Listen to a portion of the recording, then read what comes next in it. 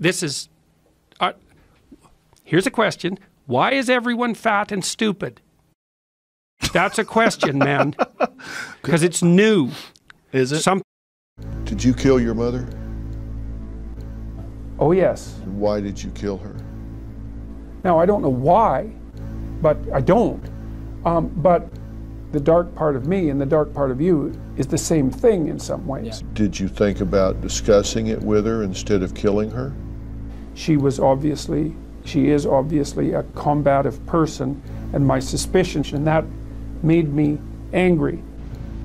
You thought it won't do any good to talk to her, so I'll just kill her.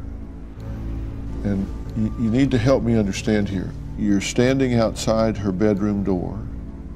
You've got a sledgehammer in one hand. You've got your hand on the doorknob with the other. And you open that door. What's going through your head at that moment? Shocked in a very pleased way, I think is the right way of. And when you swung No, that I mean- hammer the first time, did you swing it hard? Did you swing from over your head? I mean, was this a big swing from over your head? Did you swing it hard? Did you swing from over your head? Was this a big swing from over your head? Did she make a noise? You know, she said, oh, well, it was all in good fun. It was part of the game. Um, thank you for being a good sport.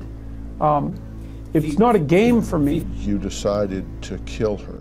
You know, I always pay attention to what happens at the back of my mind, to the bottom of my mind, let's say.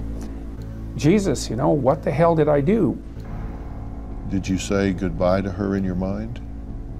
I said, ha, gotcha.